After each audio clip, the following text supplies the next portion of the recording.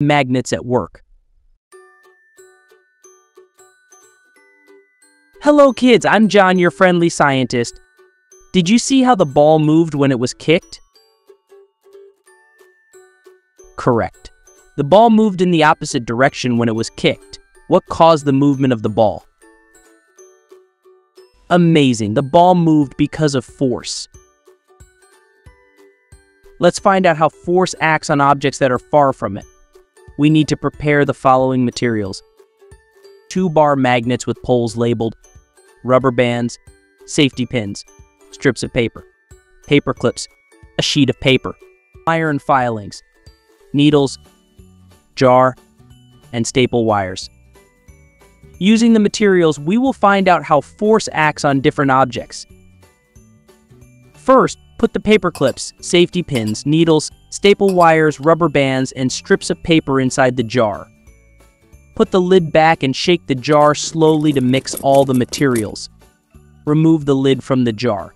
Then position one pole of the magnet inside the jar, just near its mouth. Do not move the magnet. Observe what happens. This time, try to move the magnet sideways, then observe. Now, cover the jar again and shake it. Then place one pole of the magnet on either side of the jar. Observe what happens. Which of the materials stuck to the magnet right away? What are these materials made of? What other materials stuck to the magnet when you start moving it sideways? What are these materials made of? What happened when you placed the magnet on the side of the jar? Label the magnets A and B. Align the north pole of magnet A with the south pole of magnet B. Observe what happens.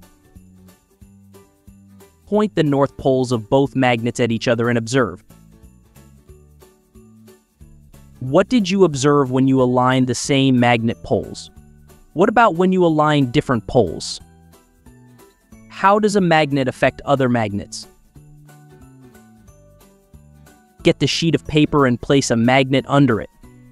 Spread some iron filings on the paper. Observe what happens. What did you observe when you sprinkled the iron filings? Explain what happened. We have learned that force acts on objects even if they are far from it. Be ready with your answers as we come back tomorrow. I hope you learned from these activities. See you soon.